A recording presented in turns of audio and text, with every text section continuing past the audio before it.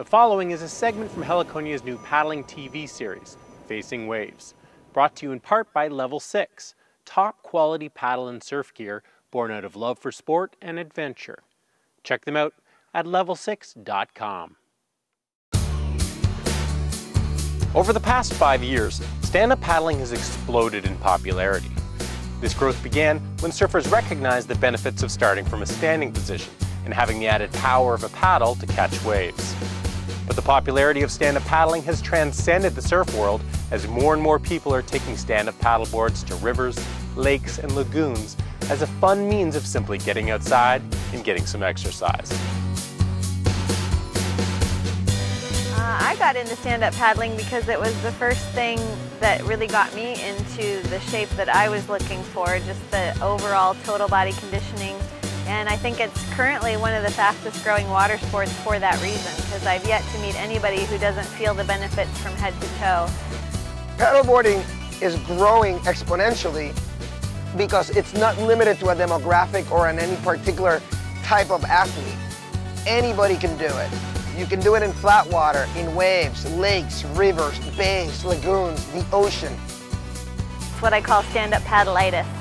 Once you have it, the only cure is to get your own board and get out there on the water. Although stand-up paddling has boomed in popularity all over the world, Puerto Rico has become a favorite destination for both new and experienced stand-up paddlers. Although most stand-up paddlers travel to Puerto Rico for its incredible surf, hundreds of riders make the annual trip to Puerto Rico's capital city of San Juan for the Paddle Royale, a two-day stand-up paddling event with a $20,000 purse which draws many of the world's top riders. This year, Paddle Royale is being taken to a whole new level. $20,000 in prize money has attracted the world's top paddleboarding stars, including Candice Appleby from Surftec, Eric Terrien from Bic Sport, Chase Kosterlitz from Fanatic, and world's most incredible paddleboarder, Danny Ching from 404. At the center of the Paddle Royale event is an eight-mile race around Old San Juan, which puts riders' skills and endurance to the ultimate test.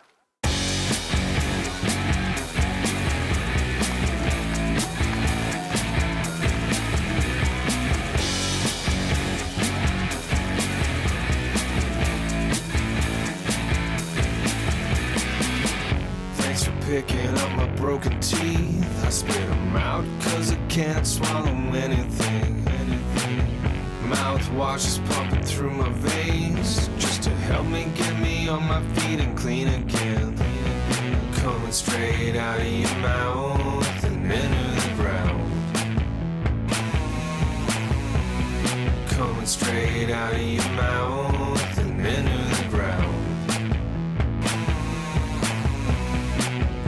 taste the flavor, I'll be taking pains to do the things I gotta do to be the same. Be the same. I don't feel the way I think I seem. Maybe I can work it out in surgery. surgery. Coming straight out of your mouth and into the ground. Coming straight out of your mouth and into the ground. 152 competitors went in the water fighting for $20,000 in prize money and lots and lots of bragging rights. As expected, Danny Ching simply dominated the long distance race nearly from beginning till end.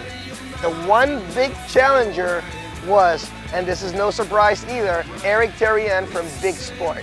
He was very strong at the start and just basically chased Danny all the way in back to the lagoon, eight and a half miles. Danny simply killed it in the long distance.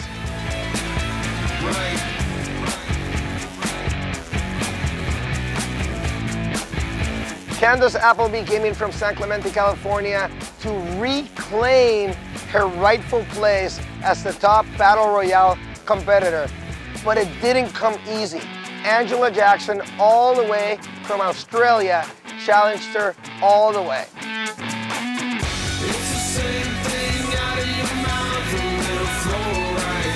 This is incredible. We do this loop inside the bay here, right? And uh, starts out with a nice little warm-up lap, and then we go outside in the ocean where we basically got every condition you can see.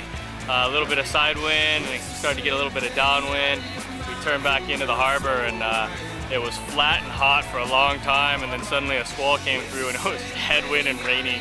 Then it cleared back up and it was flat and hot for the finish. So a little bit of everything and the race was back and forth. Uh, Eric Terrien was right behind me the whole way, so never had a chance to rest.